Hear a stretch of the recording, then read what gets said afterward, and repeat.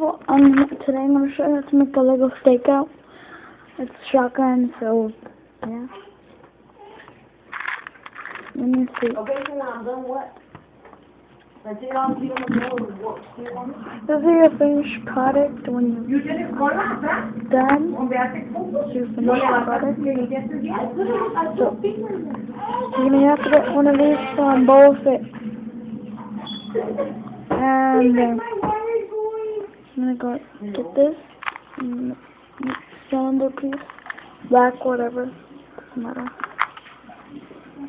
And you're going to get a cylinder again, but it has, it's a cone cylinder. And Stick it on the front. And I'm to turn around.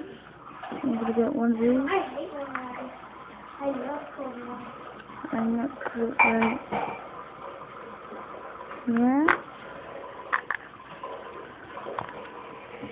Yeah, it's the finished product. I'll show you how it looks.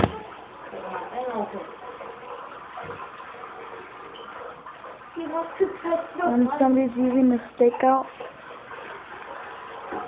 Stakeout is pretty cool and awesome. Yeah. It's pretty cool. The stakeout is pretty cool and then like not pretty bad. So yeah. That's it you guys from General One. Sign out. You spin my head. Oh.